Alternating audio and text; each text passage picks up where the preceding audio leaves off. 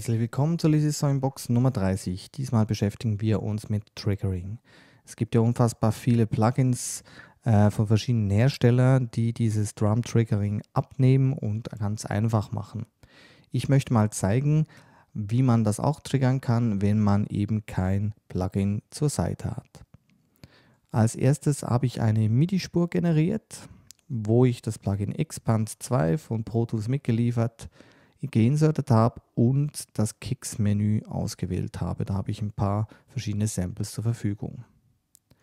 Als nächstes äh, wechsle ich in den Grid-Modus und ähm, mache hier eine Sechzehntel Note als Länge und zeichne mit dem Pencil-Tool hier von Hand einfach mal so eine Note rein. So, da hat man schon das Sample gehört. Jetzt kann ich das Sample noch auswählen. Das gefällt mir. Dann wechsle ich vom Notenansicht auf die Clips-Ansicht und schneide mir diesen Sechzehntel zurecht, indem ich hier das hintere Teil delete.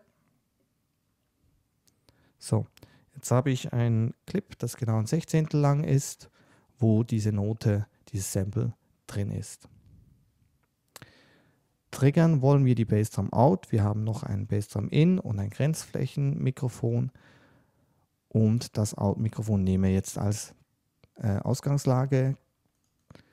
Als nächstes mache ich eine Gruppe. Und zwar äh, von der MIDI-Spur und von dieser zu triggernden Audiospur. Habe ich hier schon vorbereitet. Bassdrum Trigger MIDI. Dann habe ich das Ganze gruppiert. Weshalb sehen wir gleich. Die Gruppe deaktiviere ich jetzt gleich nochmal. Und ich nehme jetzt äh, diesen Clip hier in den Zwischenspeicher. Das kann ich mit Apfel C oder Ctrl C für den Windows-Rechner machen oder ich kann es auch gleich ausschneiden mit Apfel X oder Ctrl X. Das mache ich mal.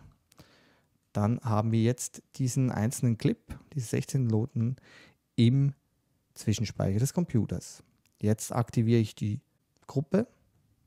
Jetzt ist eins wichtig und zwar, dass äh, die MIDI-Spur direkt oberhalb der Audiospur sein muss, sonst klappt das Ganze nicht. Dann muss Tap to Transient hier oben aktiviert sein und dann kann es schon losgehen. Ich gehe mit dem Cursor vorne hin, drücke die Tabulatoren-Taste, bis äh, ich jetzt auf diesen ersten Transienten, auf die erste Bassdrum komme. Zoom da ein bisschen weg und füge nun die MIDI-Note ein, indem ich einfach Apfel V oder Ctrl V auf dem Windows-Rechner drücke. Zack. Mit Tab tappe ich zum nächsten Transienten, sprich zur nächsten Bassdrum und so weiter und so fort.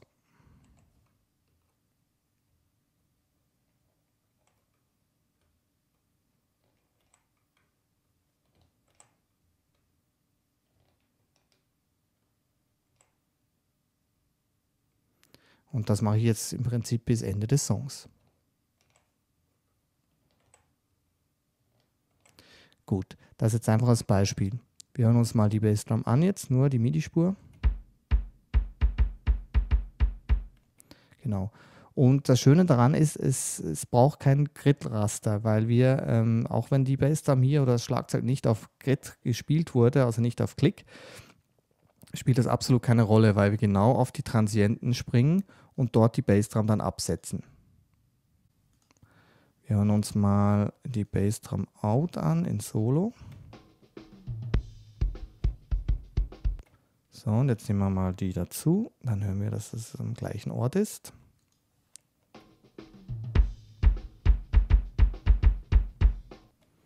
Gut, dann holen wir noch die anderen beiden Spuren dazu.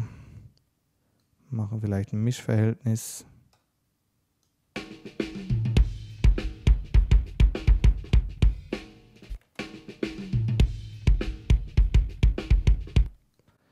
Und schon habe ich das Ganze getriggert.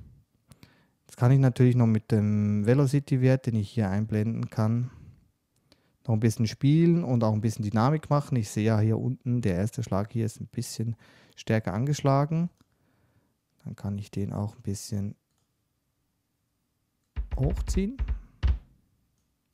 der ist ein bisschen weniger und so weiter. Und so habe ich auch ein bisschen die Möglichkeit, das Ganze dynamisch zu gestalten, so dass es einfach nicht gut hörbar ist und, und der Trigger dann irgendwie unnatürlich klingt. Wunderbar. So geht das im MIDI. Das Ganze kann ich natürlich, wenn ich jetzt keinen ähm, Sampler habe, so wie der Expand 2, kann ich natürlich auch mit einem Audio-Sample machen. Das habe ich ja unten vorbereitet. Schalt mal die Mutes aus. So, und zwar lege ich jetzt diese Bass am Out unterhalb dieser Audiospur. Und das Audio-Sample, was ich hier habe, spiele es mal kurz an.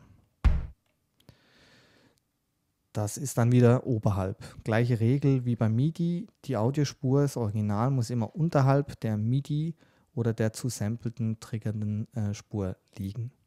Dann mache ich wiederum eine Gruppe. Ist auch hier schon vorbereitet.